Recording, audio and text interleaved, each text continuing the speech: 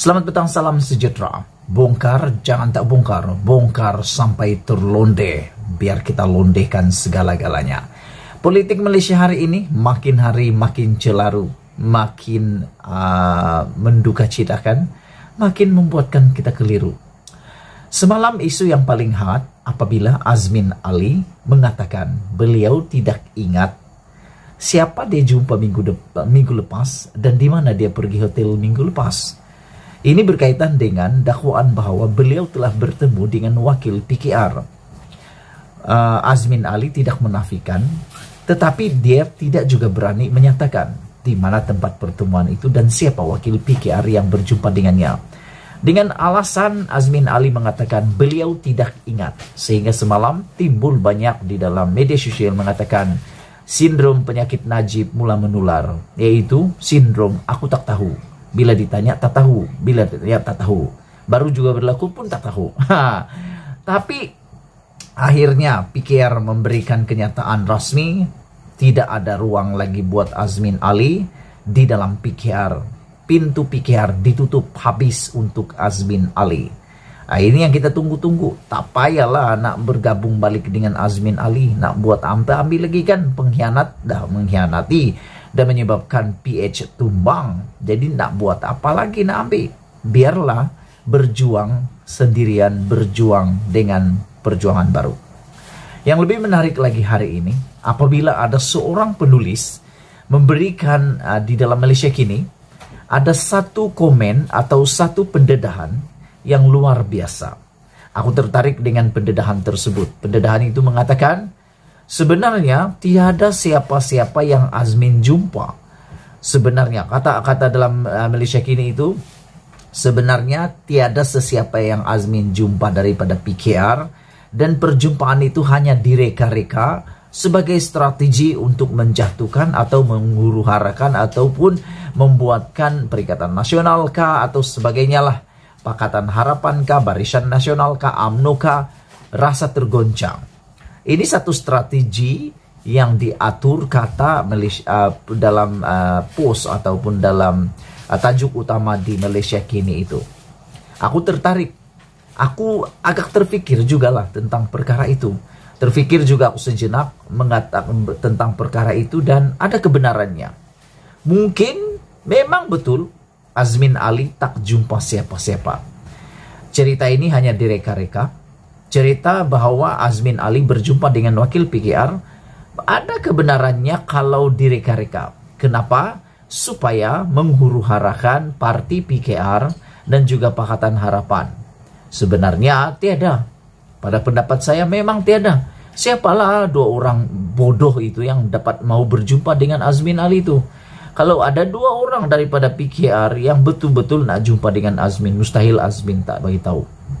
Tapi oleh kerana dia tak bagi tahu nama tempatnya pun tak ingat, ini bermakna ada unsur ini hanya rekaan semata-mata.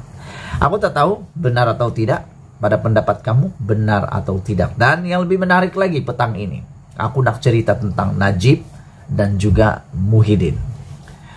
Baru-baru ini, Muhyiddin Yassin telah disenaraikan sebagai penerima dana daripada UKSB. Dana uang daripada UKSB. Dan seingat saya melibatkan 1.3 juta. Apabila Muhyiddin membuat penafian, Muhyiddin kata dia tak terima uang itu dan Mahathir kata bersatu juga tidak terima uang itu.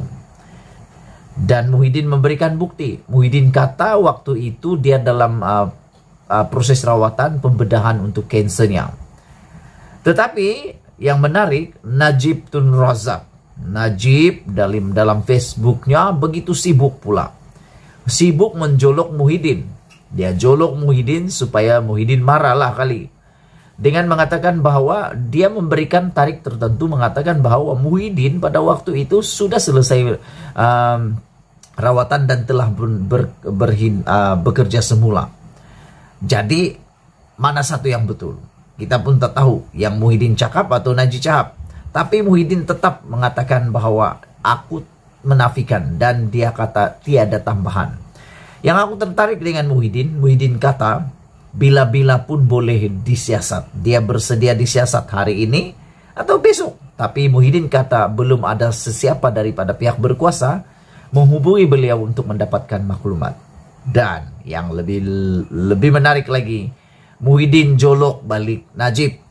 Muhyiddin kata, Najib, daripada kau sibuk-sibuk dengan hal aku, urus dulu perkara kamu, kata uh, Muhyiddin kepada Najib. Dia kata, manage dulu masalah kamu sendiri. Dan yang lebih menarik lagi, Muhyiddin kata kepada Najib, dia bukan hakim. Jadi uh, kita tunggulah siapa sebenarnya yang bercakap bohong, siapa sebenarnya yang bercakap tidak betul. Nah, kan aku rasa-rasa adalah di cerita-cerita tertentu dan aku tertariklah nasihat Muhyiddin kepada Najib. Urus dulu diri sendiri baru nak men, uh, menjolok orang lain. Kan? Sebab tak lama lagi Najib akan tahu keputusan perbicaraannya di Mahkamah Persekutuan. Bulan Ogos ini 10 hari dia akan berkampung di Mahkamah Persekutuan untuk rayuan terakhir bagi case SRC Internasional dengan hukuman 10 12 tahun penjara dan juga denda 210 juta. Kita tunggu nanti. Dan yang lebih menarik lagi, pada bulan Juli ini keputusan perbicaraan istri kepada Najib juga akan diumumkan melibatkan siapa lagi kalau bukan Kak Rosmah. Rosmah akan tahu keputusan perbicaraannya berkaitan dengan rasuah, penyalahgunaan uh, dana dan pengubahan uang haram juga di mahkamah tinggi. Pada bulan Juli ini diumumkan. Kita tunggulah nanti adakah Rosmah Mansur bebas atau sama-sama jatuh hukum seperti Najib suaminya juga. Kalau dia dijatuhkan hukuman, Nah, ini menarik. Dan sebelum kita berpisah, aku nak beritahu kamu satu berita baik. Apa yang berita baiknya? Khairi Jamaluddin secara sukarela telah menarik menarik semula rayuannya, rayuan uh, untuk saman terhadap saman uh, Anwar terhadap Khairi di Mahkamah Persekutuan. Sebelum ini Kairi memfailkan untuk merayu di uh, Mahkamah Persekutuan untuk saman fitnah Anwar kepada Kairi. Tapi hari ini Kairi melalui peguam-peguamnya telah menarik balik so, uh, menarik balik rayuan uh, kepada keputusan Mahkamah Rayuan sebelum ini di Mahkamah Persekutuan. Kairi tidak mau meneruskan rayuan tersebut. Yang aku heran penutupnya adalah Sejak akhir-akhir ini, Saman fitnah banyak memihak menang kepada Pakatan Harapan, pembangkang. Dan aku jarang dengarlah dan aku tak tahulah aku, aku yang tak tahukah atau memang betul. Seakan-akan macam kerajaan terdahulu sebelum ini tidak pernah menang. Balik-balik yang kalah um, pro pem, uh, pro kepada Barisan Nasional dan AMNO pada waktu dulu balik-balik kalah, balik-balik kalah. Tak pernah menang-menang lagi. Aha, jadi aku pikir seperti Jamal uh, Jamal di uh, siapa nama dia tuh orang selalu panggil dia Jamal Tongkol. dia memecat peguamnya sendiri dan mewakili dirinya sendiri untuk perbicaraan. Ah, itu menariklah kan. So itu dulu kali ini.